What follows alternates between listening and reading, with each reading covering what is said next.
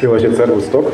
Fenyvesi Otto vagyok, független marketing hardware tervező, és beszeretném mutatni, hogy hogy tervezek és építek egy úgynevezett robotkocsmát. Mi is ez? Ez egy 20 lábas HC magasított szabványhajó konténer, amit kicsit megturboztunk, ami azt jelenti, hogy nulláról újra lett építve.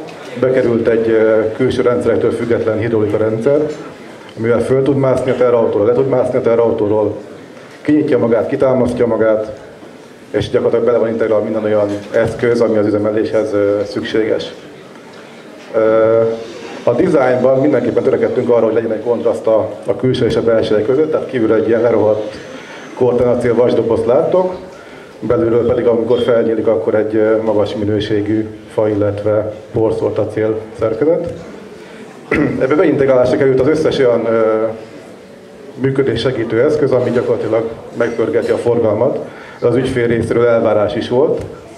Tehát a gyors telepítés követően ez kb. 10 perc után tud működni. Be van építve az összes szódagép, IT rendszer, a dekorvilágítás, borhűtők, illetve minden, ami szükséges az üzemeléshez. Most egy kis segítséget.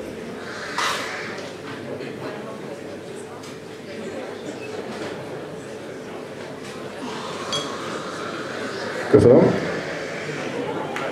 Ah, fog menni. Tehát a cím az, hogy Cargo mozgásban, kicsit tágabb kontextusban helyezném ezt a dolgot, ezekről már nagyjából beszéltem. Maga a Cargo ugye a Container Architecture jelenti, Igazából mi ettől el szerettünk volna térni. A alsó, opa, bocsánat. Az alsó sarokban szereplő úriember a piacon lévő szakkönyvek kb. 90%-át jegyzi. Jurek Kotnik egy szlovén származású építész. Jelenleg köröztet az világon egy utazó kiállítást, ami a, a Cargo Texture tematikájában szerepel. Gyakorlatilag ez az, amit nem szerettünk volna követni. Néhány további inspiráció, ami ami mindenképpen figyelemfelkeltő és lenyűgöző, de ezektől is el szerettünk volna egy kicsit szakadni. Az el... Csak működik. Az első a Del Popolo nevezetű pizza truck, ez egy food truck San Francisco-ban, amiről még lesz még egy pár szó. A középső a Moonbox, egy kanadai-francia konténer. Szerintem nem is messze van egy klónja itt a belvárosban. Illetve a harmadik egy szintén nagyon nagy érdekességű, egy japán container shelter, nem tudom ezt, hogy mondják magyarul, de egy ilyen vészhelyzeti menedék. Előbb-utóbb megtanulom. Jó, és a másik út, amit mi választottunk, ugye a design az az egyik oldal, amiről már beszéltem egy kicsit, de láthattátok is. Ugye a másik a funkció, amit azért jól látható, hogy a futrákokkal mindig az a probléma a konténerekkel szemben, hogy a tengely magasság miatt a vevőnek a szemmagasság az sosem, sosem passzol a, a kiszolgálókkal, tehát most jobb esetben az ágyékát látja, rosszabban a bokáját, vagy fordítva. És ugye itt látható, hogy a, a Popolo úgy amikor beépített egy ilyen átidaló szintet a, a szerviz szint és a, a vevő szint között. Ugye a másik érdekesség, hogy ez a ferde vágás, amit hát nem fényezném, de szintén saját szabadalom. Gyakorlatilag ez azt, azt érjük el ez, hogy amikor felnyílik a konténer fedele, akkor egy sokkal magasabb, nagyobb tömeget látunk, ami egy szűk városi térben egy maga, nagyobb figyelemfelkeltő hatást ér el. Ugye van még egy integrált mozgató rendszerünk, ami a beépítésre került. Ez a civil életben szintén nem egy megszokott dolog, ez az amerikai hadseregben alkalmazott. Mi mondjuk törekedtünk a dizájnra is, hogy ezért nézzen ki valahogy. Illetve a negyedik dolog, ami egy érdekes, a teátrális mozgás, amit sajnos még nem használunk, de mindenképpen ez egy hasznos hozadéka volt az egész mozgásnak.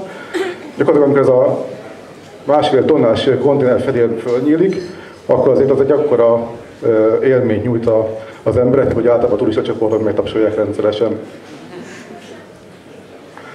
Jó, mi volt a cél? Nagyjából már beszéltem, hogy alacsony rezsivel lehessen ezt működtetni. Hogy az ügyfél részéről mindenképpen az oda cél, hogy ez egy pénztermelő gép legyen.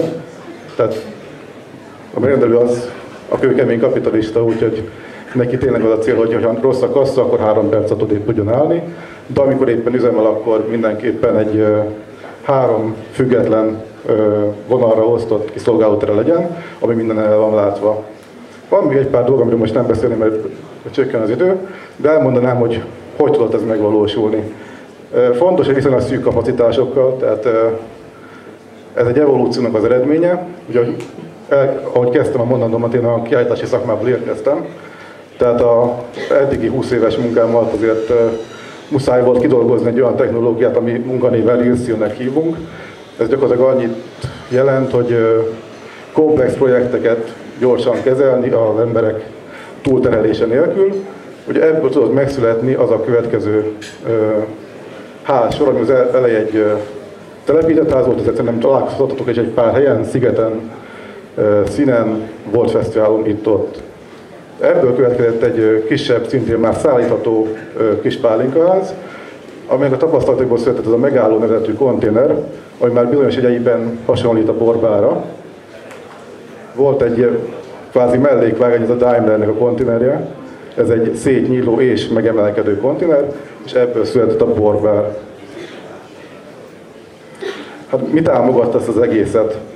Tervezésben mindenképpen az, hogy az evolúcióról az előbb beszéltem, ez gyakorlatilag abból tudott megszületni, hogy kvázi egy egyszemélyes kommandóként az én terveim alapján készült, de én kim voltam mindegyik munkának a tervezésénél, vagy, vagy én terveztem, tehát a gyártásánál, gyártás előkészítésénél, telepítésénél, de az összes olyan negatív vagy rossz tapasztalat, ami gyártás közben vagy telepítés közben felmerült, azt én első kézben láttam. Ugye a másik dolog az a saját kapacitása a tervezésnek. Gyakorlatilag néhány ilyen szaktervezési munkán kívül, ami a statikai vagy hidraulika, gyakorlatilag ezt mi tudtuk csak megvalósítani, záros időn és kontrollható költségeken belül. És ugye a harmadik, ami szintén soha nem lettünk volna kész nélkül, hogy ez a kettkemes gyártási rendszer. És mi van ellene? Hát ezt nem fejteném, gyakorlatilag a, a magyar szakipar van ellene.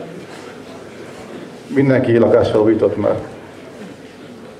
Jó, mit szeretnénk továbbiakban? Mi az evolúció további lépcsője? Most az, hogy tudjuk, hogy ezt meg tudjuk már csinálni, és megvalósult, most már úgy kéne megcsinálni, hogy gazdaságos is legyen.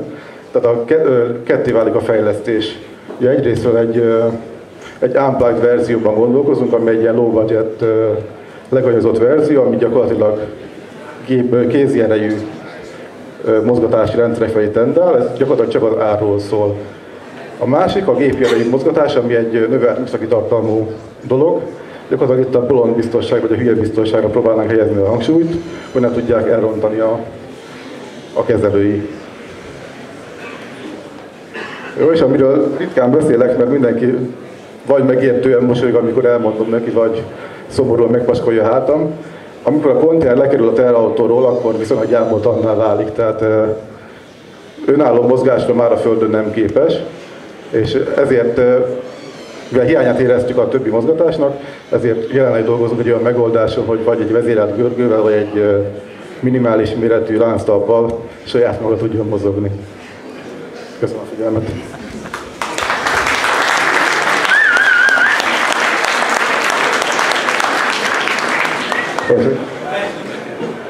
Zavarban vagyok. Nekem vagy az ügyfélnek? Nem tudom, dolgozunk még az ügyön. Sokba. Most tartunk annál a lépésnél, hogy ezt a két, két megoldást beárazzuk, főleg külföldi gyártókkal, mert a Magyarország az kicsit besült.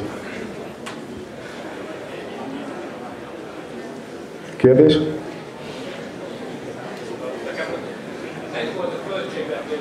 Igen, a kollega pont most kérdezte, és itt néztem a cipőorromat, hogy zavarba estem, igen.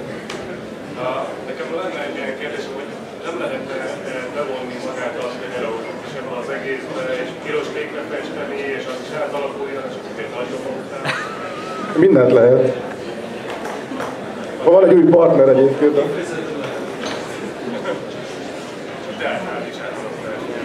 Átalakulás. Köszönöm szépen.